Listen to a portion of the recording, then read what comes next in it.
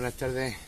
Bueno, vamos hoy es un día un poquillo triste porque eh, hemos tenido que ir a despedir a nuestro compañero Fernando, una persona maravillosa que ha compartido con nosotros momentos increíbles trabajando, cinco años don para mucho y bueno, ha escrito unas pequeñas palabras para él en forma de un humilde poema. Fernando, esto es para ti. No tiene medida la tristeza, ni tiene medida el dolor ni la pena. No imaginas lo alargada que es la sombra del vacío que dejas. Solo el recuerdo de las sonrisas puede cerrar las heridas que muerden la carne y el alma.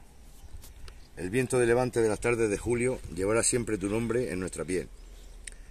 Sabremos que estás aquí siempre que se haga un instante de silencio y una leve brisa nos roce la cara. Nadie muere mientras quede alguien que le recuerde, al menos eso quiero pensar. Allá donde vayas, siempre será sonrisa y luz, aunque aquí esa luz nos cueste perderte. Ahora que has arrancado de tu alma la carne, vuela libre. Nosotros quedamos aquí sabiendo que un día te volveremos a ver. Un beso al cielo, amigo mío, y nos veremos otra vez. Mañana nos vemos.